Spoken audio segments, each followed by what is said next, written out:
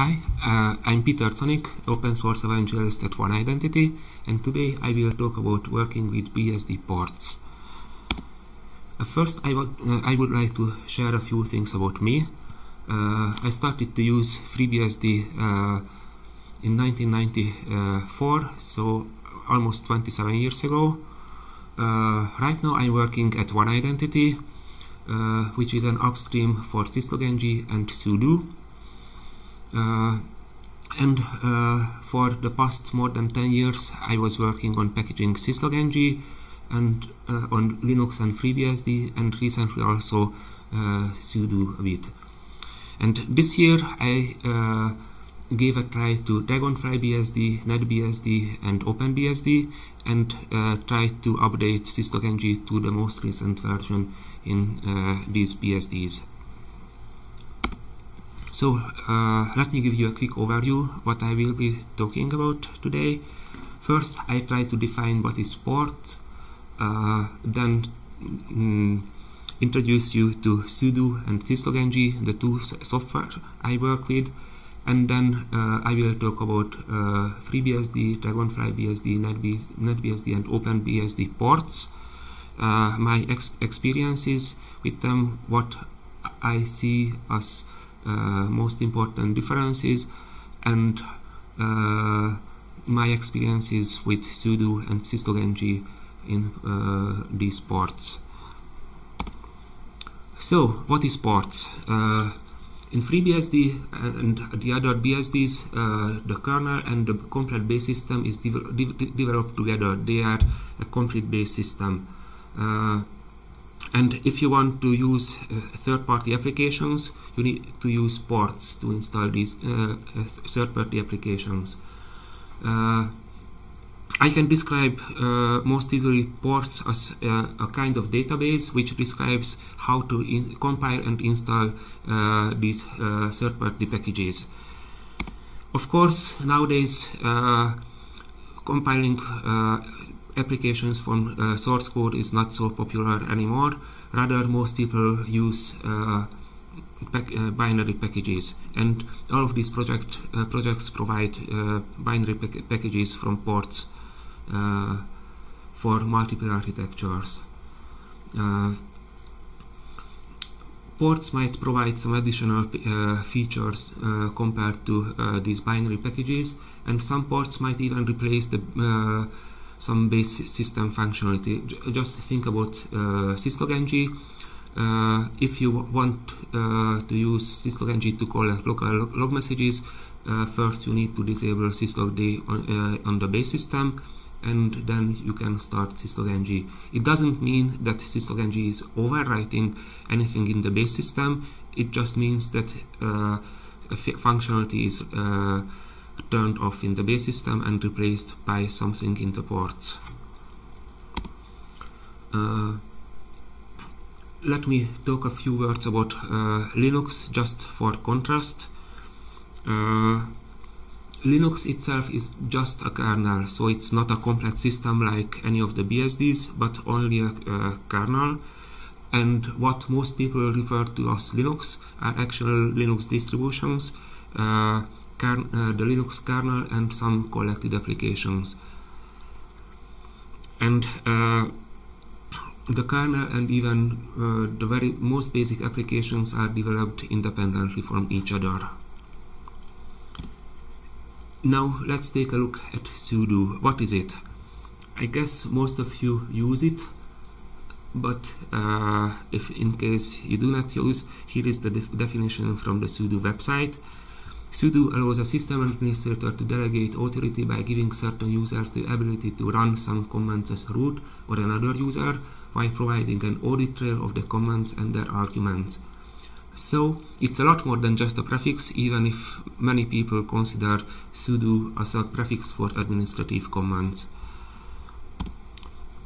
Here we see a very basic sudoers file, the configuration for sudo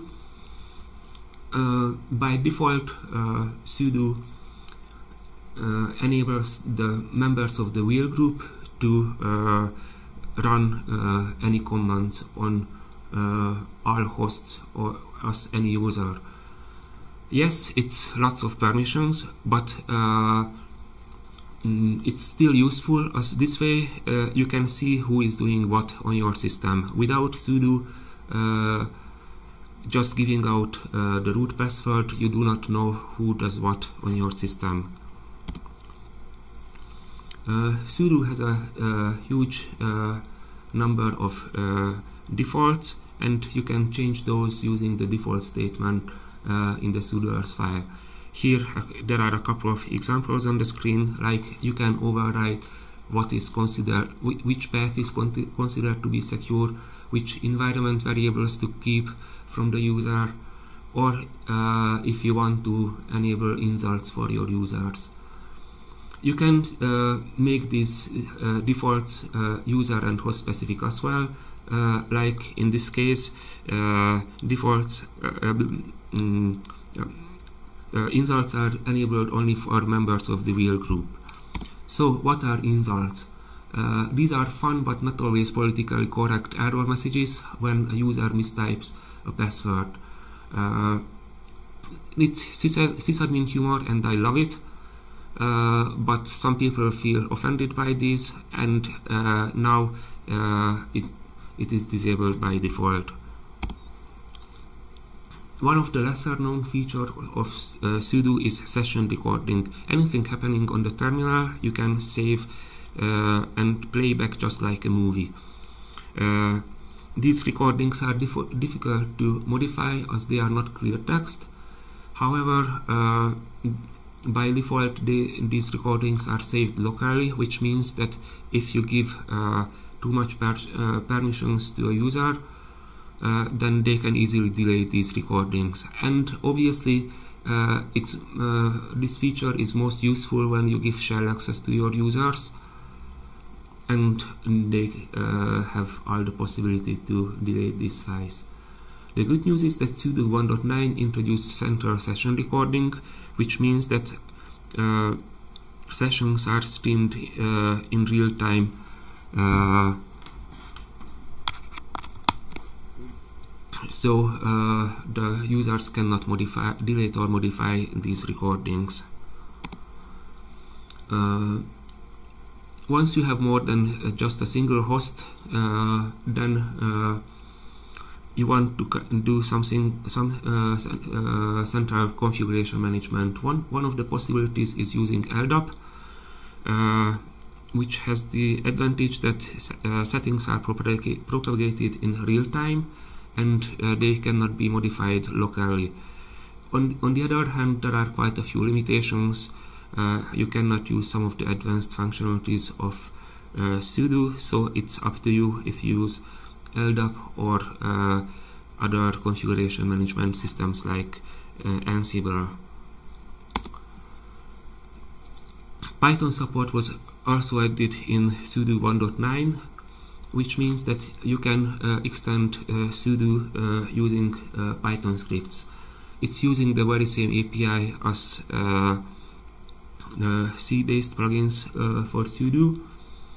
However you do not need a dedicated development environment to develop python plugins or to compile anything.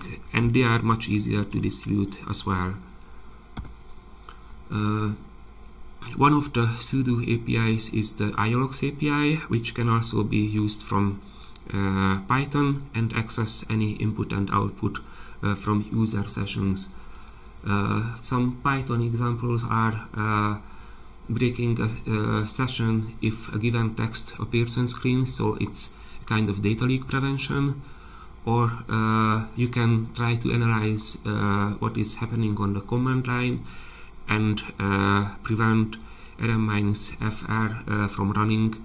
So you can mm, not, not mm, users cannot delete recur recursively mm, and do too much damage. Uh, here is a very simple uh, Python example. All it does is uh, checking what is happening on the screen and it checks everything before it's actually printed on screen which means that in this in this case, uh, the Python script checks if my secret uh, appears in the in a buffer, and if it's there, uh, then uh, it, it terminates the uh, sudo session. Here is a screenshot of this. the user starts a share session using sudo and there is a file called uh, my secret in the directory called do not enter. Uh, so uh, the user changes to the mm, directory of root lists it. Uh, oh do not enter that must be something interesting. Tries to list it but uh, kicked out before uh, any sensitive information would be displayed on the terminal.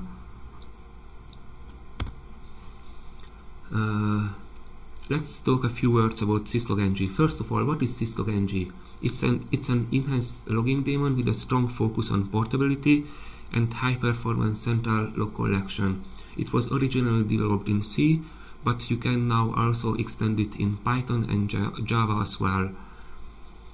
Uh, what is logging? It's a recording of events like uh, an SSH login message. Uh, syslog-ng has four major roles. The first one is collecting data. Uh, syslog-ng can collect uh, system and application logs together, which can provide quite useful contextual data for either side. Uh, it can collect uh, log messages from a wide variety of platform-specific sources like devlog, journal, sunstreams. Uh, as a central uh, log collector, it speaks uh, both the new, uh, old and the new syslog protocols over UDP, TCP, and encrypted connections. It can collect any kind of text data from applications and you can also use Python to extend uh, syslog-ng so you can create yourself an HTTP source, a Kafka source, whatever you need and not yet implemented in syslog-ng itself. The next role is processing. You can classify, normalize and structure data uh, with built-in uh, parsers. You can also rewrite log messages and you don't have to think about falsifying log messages here, but for example, uh, do anonymization as required by uh, compliance regulations. Uh, you can also enrich uh, log messages using, for example, GeoIP or uh, reformat log messages as needed by the destinations like Elasticsearch needs JSON formatting. And you can also use Python for log processing uh, and you can implement any of the above, above uh, possibilities or uh, enrich log messages from databases or uh, even do filtering uh, from Python which brings us to our next topic. It's filtering data. Uh, it has two main uses. First of all you don't want to keep all of your log messages but for for example uh, throw away uh, mm, debug level log messages. Those are only necessary when mm, you try to uh, trace a program and also uh, it's used for uh, message routing like you want to make sure that any authentication related log messages reach your SIEM system uh, finally you want to store your log messages somewhere uh, traditionally, syslog-ng saved all log messages to text files, either locally or at the uh, central syslog server.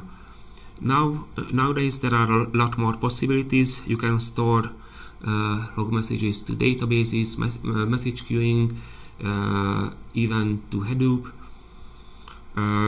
and if none of these fit your needs, you can extend uh, syslog-ng using Python and Java as well.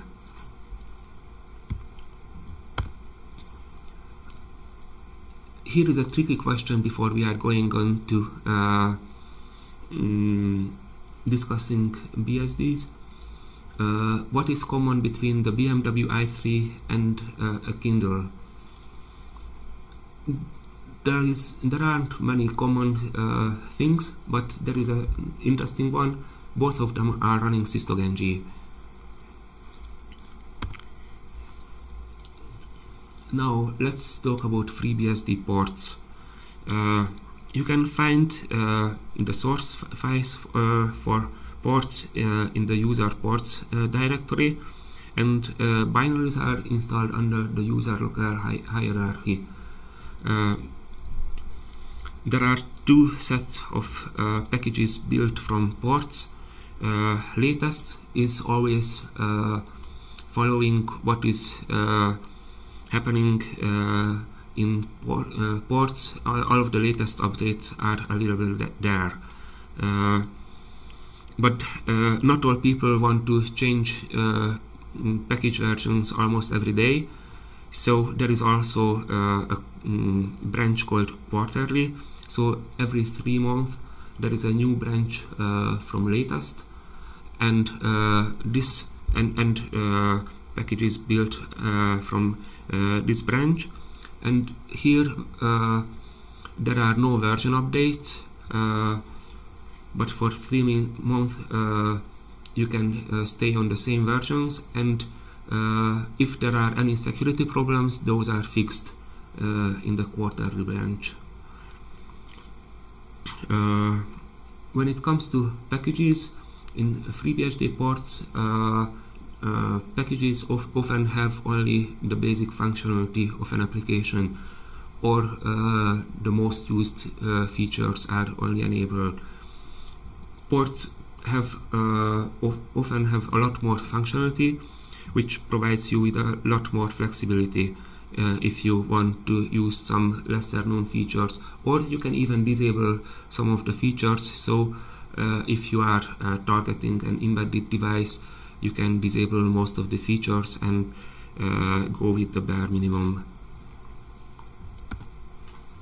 Uh, you can find uh, sudo uh, under the security directory in FreeBSD ports and it's pretty much up to date. It follows the 1.9 uh, line of sudo releases.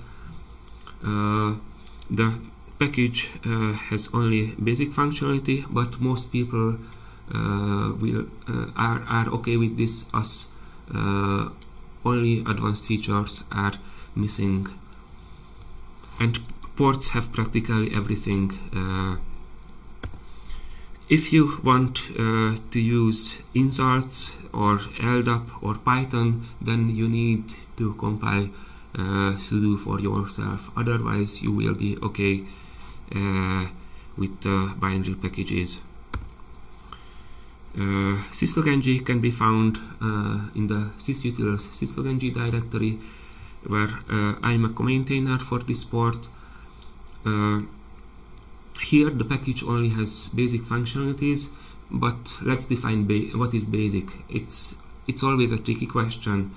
Uh, we try to define it that in a way that uh, features we do not need extra dependencies.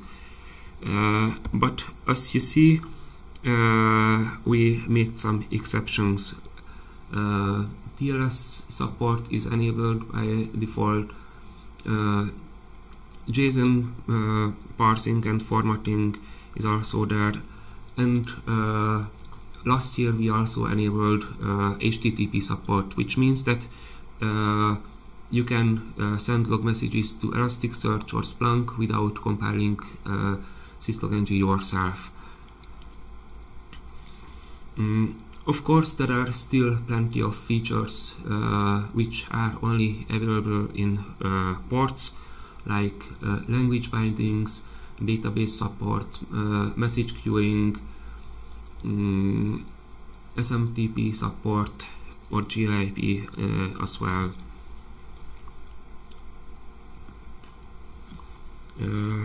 Dragonfly BSD uh, is a um, fork of the uh, FreeBSD code base and they still have a close connection. Uh, the source of uh, ports on Dragonfly is uh, found under user D ports and uh, ports are synced from FreeBSD regularly usually once in the middle of each month. Of course, uh, they do not use uh, FreeBSD uh, directly, but they also have some modifications to FreeBSD ports and also some additions. Mm, when I first tested Dragonfly, uh, Syslog-ng didn't work out of box, and I uh, posted a fix uh, in my blog, which was quick- quickly taken over uh, by Dragonfly developers. However, uh, a few months uh, later, when I checked it again, I found that this fix was gone. So uh, you see, you can see uh, the URL to my blog on on screen, which contains information how to use syslog-ng on Dragonfly. Uh, one more thing to note about Dragonfly that uh, security fi- fixes are, are uh, slow. Uh, I mean, uh, my example here is sudo, which had a serious problem at the beginning of the year, which was fixed in FreeBSD on the day when the problem became pub- public. On the other hand, the fix reached Dragonfly BSD only three weeks later uh, on the next regular uh, port sync.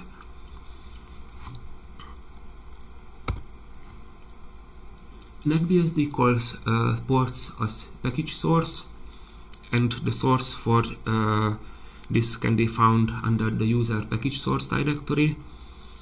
Uh, and the binaries uh, are installed under the user uh, package directory. Just like FreeBSD, uh, there are two variants of uh, packages. Uh, there is a quarterly uh, branch and uh, the uh, current, uh, meaning the very same as latest on FreeBSD. And here the NetBSD package source is not only used on NetBSD but can be also uh, compiled, uh, used on Solaris, uh, on some of the Linux distributions, and also on macOS. Uh, when I first checked NetBSD, then all of the official documentation mentioned only the legacy tools to work with uh, packages, which was a kind of annoying. Uh, knowing that uh, I discovered on my own that there is also a tool called um, pkgin, which is a much more up to date and easy to use tool for package management. When I checked back a few months later, the legacy tools are still mentioned in the documentation. The focus is finally on uh, the new tool. So uh, users who start uh, to work with NetBSD now can find up-to-date and easy-to-use documentation. Uh, sudo is in package source at the very same usual location and it's uh, up to date. Uh, how, ho- however, uh, some of the, some of the features uh, are of uh, sudo are missing. Only the basic functionality is uh, available in package source, and these are also missing on the source side, not just from the packages. Uh, syslog-ng is also available in package source, but right now it has quite an old version, uh, 3.17. Uh, the good news is that uh, up- uh, an update is underway, uh, and updating the port was quite easy even as a NetBSD newbie. Uh, it's uh, thanks to the excellent excellent documentation for uh, package source. Uh, the new port is not uh, yet submitted to um, package source as uh, there were a couple of bugs with, which needed to be fixed in syslog-ng. The TCP source didn't work and it was fixed it, it is fixed now in upstream. And I also uh, pushed uh, the system uh, source patch from package source to upstream.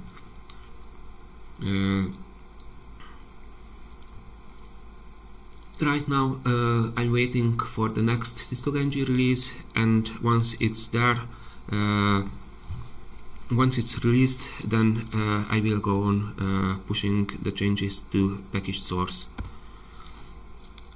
Finally let's talk about uh, OpenBSD ports.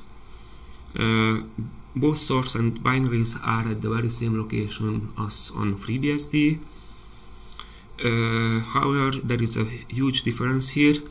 Ports in this case are not intended to be used by end users, but the use of binary uh, packages is strongly encouraged uh, by OpenBSD developers.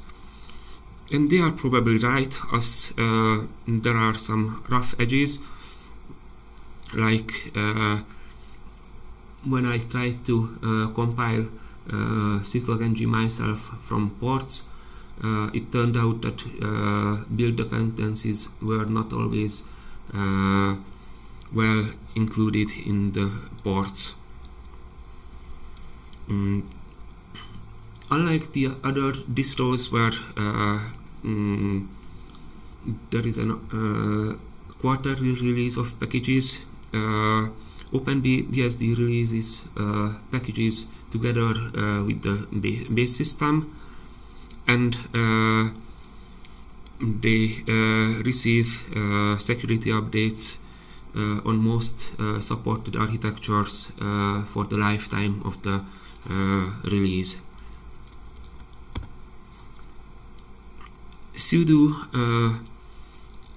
is uh, uh, in OpenBSD ports and it's maintained by sudo author uh, Todd Miller, so uh, it's always up to date uh, and it has all the major features uh, enabled. Uh, SysLogNG was stuck at quite an old version uh, for a very long time uh, and there were many OpenBSD specific patches in the ports. Uh, I tried to update uh, syslog-ng myself, but both syslog-ng and OpenBSD changed quite a lot in the past few years. So uh, my uh, attempt failed, and as I asked for help from Todd Miller, who updated the patches and uh, upstreamed them as well. So uh, syslog-ng is now uh, up to date in OpenBSD ports uh, and it has uh, all of the often used features uh, enabled. let me summarize my talk. I checked sudo and syslog-ng in uh, four mm, different BSDs and I found that uh, security in ports is uh, mostly good except probably for Dragonfly BSD, which was lagging a bit behind.